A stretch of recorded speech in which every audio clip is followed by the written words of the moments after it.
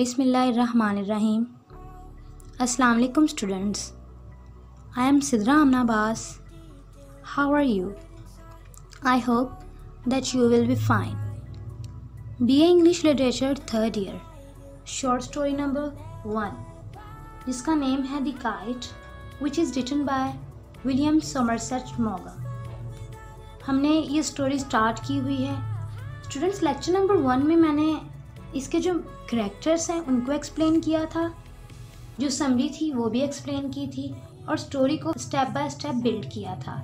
अब lecture number two में हम कुछ शुरू करेंगे कि जो क्वेश्चन पेपर के अंदर क्वेश्चन आता है, यानी एग्ज़ाम के अंदर जो क्वेश्चन आता है, हम देखेंगे कि उसको अटैम्प्ट कैसे किया जाता है।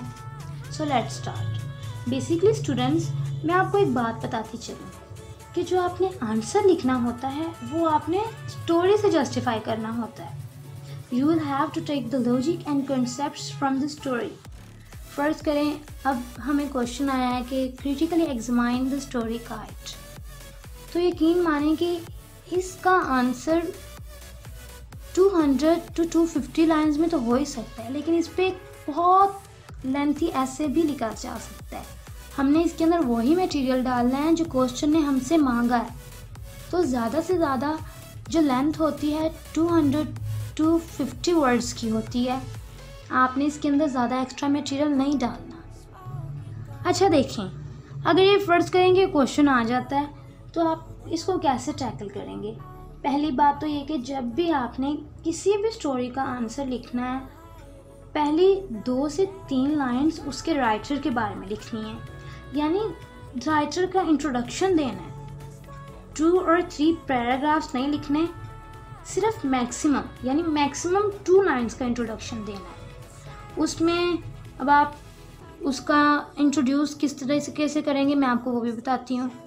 आप राइटर की थोड़ी सी तारीफ़ कर दें कि he is a world famous writer his name is that he was born in this city this and that अब हो गया, ये तो हो गया ना हमारा क्वेश्चन की स्टार्टिंग अब हम सॉरी आंसर की स्टार्टिंग अब मैं आपको एक्सप्लेन करूँगी कि आंसर लिखना क्या है. बेसिकली आंसर के अंदर लिखना क्या है. अब मैं आपको आसान लफ्ज़ों में समझाती चलूँ, यानी मैं आपको पॉइंट्स में समझा देती हूँ, लेकिन आपने पॉइंट्स में नहीं लिखना. आपने उसे पैराग्राफ की फॉर्म में लिखना है. मैं पॉइंट्स में इसलिए कह रही हूँ ताकि आपको अच्छे तरीके से समझ आ जाए और आप ये समझ सकें कि आपने आंसर देना कैसे हाँ एक और बात बता दूँ। अब आपने यही नहीं कि सिर्फ़ यही क्वेश्चन कर लेना है। ज़रूरी तो नहीं कि यही क्वेश्चन आएगा। ये तो मैं आपको समझाने के लिए कर रही हूँ ना। आप क्वेश्चन क्वेश्चन कोई भी हो सकता है। लेकिन मैं आपको कह रही हूँ कि उसका आंसर इसी तरीके से लिखना है, जिस तरीके से मैं आपको एक्सप्लेन कर रही हूँ। यानी उसमें ज़्यादा एक्स्ट्रा मटेरियल नहीं डालना। ना ही उसकी ज़्यादा लेंथ करनी है। और ये इसका मतलब ये नहीं कि आपने उसकी लेंथ ज़्यादा नहीं करनी तो आपने उसके बिल्कुल छोटा लिख देना है। अब हमारा क्वेश्चन क्या था? हमारा क्वेश्चन था कि critically examine the story kite यानी कहानी पर तनकीदी जायजा लें जो वेरी फ़र्स्ट पॉइंट है, उसके अंदर हम ऑथर की तारीफ़ कर देंगे। यानी हम ये लिखेंगे कि this story is written by William Somerset मॉगम he is of the habit that he used to write the realistic based stories. He's world famous writer. And this and that अब ये हो गया हमारा, हमारी स्टोरी का आगाज़ हो गया, यानी हमारी जो आंसर है, उसकी स्टार्टिंग हो गई। अब एक चीज़ को जब हम स्टार्ट करते हैं तो वो खुद ब खुद ही इख्ताम की तरफ़ बढ़ता चला जाता है, यानी एंडिंग की तरफ़ बढ़ता चला जाता है, बढ़ता चला जाता है। अब हम लिखेंगे आंसर यानी अब हम सही मानों में आंसर को स्टार्ट करेंगे।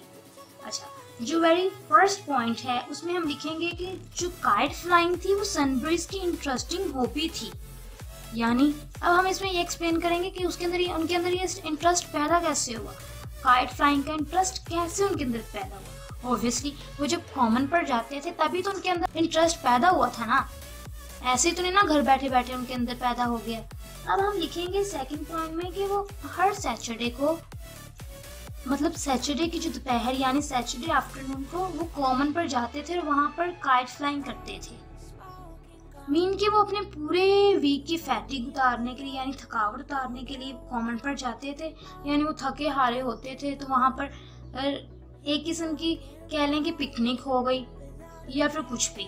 हम जो भी आपको आसानी लगे, आप वो लिखते हैं।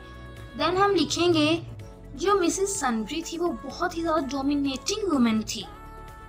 और अगर ऑन द अदर हैंड देखा जाए तो वो ये चाहती थी कि वो भी अपनी फैमिली का कंट्रोल बिल्कुल उसी तरह अपने हाथों में रखे, जिस तरह एक काइट फ्लायर अपने हाथ में अपनी काइट रखता है और वो दूसरों को देने से बहुत डरता है, मोहतात होता है। वो चाहता है कि उसकी डोर ना कट जाए, उसकी पतंग की डोर ना कट जाए। बिल्कुल इसी तरह मिसेस सनड्री भी यही चाहती थी। वो चाहती थी कि उसके बेटे की डोर हमेशा उसी के हाथों में रहे। कोई और उसकी डोर ना पकड़े। यहाँ पे कोई और से मुराद मिस बैटी बैमन थी। जब मिसेस सनड्री को पता चलता है कि मिस बैटी बैमन हर्बर्ट से शादी करने वाली है तो उस बहुत जल्द उनकर राख हो जाती है। वो उसको हराने का सोच लेती है। वो सोचती है कि अब बैटी बैमन उससे उसका बेटा छीन लेगी। लेकिन ऐसा बिल्कुल भी नहीं होता। जब उनकी शादी हो जाती है तो दर हकीकत मिसिस सनब्री ने उसकी वाइफ से उसका शोहर छीन लिया। या फिर हम ये भी कह सकते हैं कि एक काइट ने एक हँसते बसते खानदान को तबाह कर दिया। अब जो नेक्स्ट पॉइंट होगा, वो ये होगा कि kite flying was closely associated with his father and mother यानी हर्बर्ट जो काइट फ्लाइंग करता था, उस काइट फ्लाइंग ने उसे उसके पेरेंट्स के साथ मुंसलिक कर दिया था। और उसी एसोसिएशन ने उसके पेरेंट्स के साथ उसकी एसोसिएशन ने उसे उसकी बीवी से दूर कर दिया था। अब जो नेक्स्ट पॉइंट होगा उसमें हम ये लिखेंगे कि Herbert was psychological influenced by kite flying as his mother wanted it's mean that Beatrice ने उसे मुकम्मल तौर पर, या हम ये कह सकते हैं कि बिट्रिस ने हर्बर्ट को नफसियाती तरीके से काइट फ्लाइंग की तरफ़ कायल कर दिया था, जैसे कि वो चाहती थी। यानी वो हर्बर्ट की ज़िंदगी की जोड़ अपने हाथों में रखना चाहती थी, और वो इस चीज़ में कामयाब भी हो चुकी थी। हर्बर्ट ये बात नहीं समझ पा रहा था। हर्बर्ट को लगता था कि जिससे सिर्फ़ उसकी बीवी ही गलत है। उसकी माँ बिल्कुल ठीक है, लेकिन ऐसा बिल्कुल भी नहीं था। And in next point the kite proved the instrument. With which he first fought with his mother, next then Betty. यानी काइट का जो किरदार है स्टोरी के अंदर वो वो एक इंस्ट्रूमेंट के तौर पर है। या हर्बर्ट को माँ के करीब कर दिया देन हर्बर्ट की मदर ने बैटी को उसके शोहर से दूर कर दिया। इस तरीके से आंसर एंड होता है। आप इसकी क्रिटिकल मतलब एग्जामिनेशन में कुछ भी लिख सकते हैं लेकिन लिखना वही है जो स्टोरी ने हमें बताया है।